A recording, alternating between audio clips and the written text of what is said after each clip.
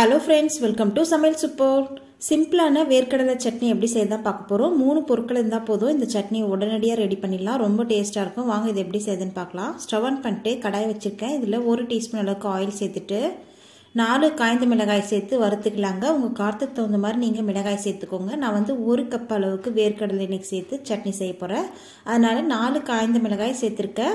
ஒவ்வொரு மிளகாய் ஒவ்வொரு மாதிரி காரம் இருக்கும். அதனால உங்கள் காரத்துக்கு தகுந்த மாதிரி மிளகாயை வறுத்து எடுத்துக்கோங்க. இது ஒரு பொருள் தான் நம்ம எண்ணெயில் வறுக்கணும். மற்றது வந்து வேர்க்கடலை வந்து ட்ரையாக ரோஸ்ட் பண்ணி வச்சுக்கிட்டிங்கன்னா இந்த சட்னி வந்து நம்ம ஒரு அஞ்சு நிமிஷத்துக்கு கூட ஆகாது. அதுக்குள்ளே நம்ம இந்த சட்னி ரெடி பண்ணிடலாம். பாருங்கள் ஒரு பிளேட்டில் எடுத்து வச்சுட்டேன் அந்த வரமிளகாயை. இப்போ சேம் அதே எண்ணெயில் ஆஃப் டீஸ்பூன் அளவுக்கு கடுகு சேர்த்துட்டு கடுகு நல்லா படப்படன்னு பொறிஞ்சு வந்ததுக்கப்புறம் இதில் ஒரு கொத்தளவு கருவேப்பிலை சேர்த்துட்டு ஸ்டவ் ஆஃப் பண்ணி விட்டுருங்க அப்படியே. எப்பயுமே கடுகு சேர்த்துட்டு நல்லா படப்படன்னு பொறிஞ்சு வந்ததுக்கப்புறம் அடுத்த இன்க்ரீடியன்ட் செய்யுங்க ஏன்னா கடுகு பொரியாமல் சேர்த்தோம்னா நமக்கு வயிற்றுக்கு ஆகாது அதனால் கடுகு நல்லா பொரிஞ்சதுக்கப்புறம் அடுத்த பொருள் சேர்த்திங்கன்னா சரியாக இருக்கும். ஸ்டவ் ஆஃப் பண்ணிட்டேன். அப்படியே இருக்கட்டும். அடுத்ததாக மிக்சி ஜார் எடுத்து வச்சுருக்கேன். இதில் ஒரு கப் அளவுக்கு வேர்க்கடலை சொல்லியிருந்தேன் இல்லைங்களா? வறுத்த வேர்க்கடலைங்க இது. வறுத்துட்டு அதுக்கப்புறம் அந்த தோலெல்லாம் நீக்கிட்டு எடுத்திருக்கேன். இப்போ மிக்சி ஜாரில் சேர்த்துட்டு கூடவே சின்ன துண்டு அளவுக்கு புளி வந்து ஒரு பத்து நிமிஷம் தண்ணியில் ஊற போட்டிருந்தேன். அந்த புளியை தண்ணியோடு சேர்த்துக்கலாம். இது கூடவே நம்ம வறுத்து வச்சுருந்த காய்ந்த மிளகாயும் சேர்த்துட்டு ஃபஸ்ட்டு இதை ட்ரையாக அரைச்சிட்டு வந்துடலாம். கூட நான் கொஞ்சம் உப்பு சேர்த்துருக்கேன்.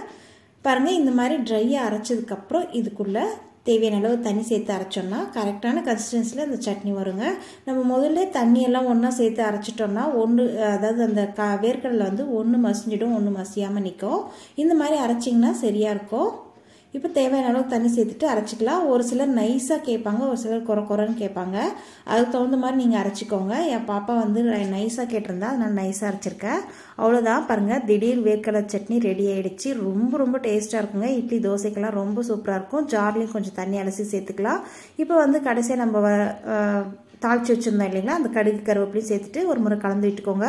இட்லி தோசை ராகி களிக்கெல்லாம் ரொம்ப பர்ஃபெக்டாக இருக்கும். கண்டிப்பாக இந்த ரெசிபி நீங்களும் மிஸ் பண்ணாமல் வீட்டில் ட்ரை பண்ணி பாருங்கள் வேர்க்கடலை மட்டும் வறுத்து வச்சுட்டு இருந்தோம்னா நமக்கு ஒரு அஞ்சு நிமிஷத்தில் இந்த சட்னி ரெடி பண்ணிடலாம். இந்த ரெசிபி உங்களுக்கு பிடிச்சிருக்குன்னு நினைக்கிறேன். பிடிச்சிருந்தா லைக் ஷேர் சப்ஸ்கிரைப் பண்ண மறந்துடாதீங்க. இன்னொரு இன்ட்ரெஸ்டிங்கான ரெசிபியோட சந்திக்கிறேன். நன்றி வணக்கம்.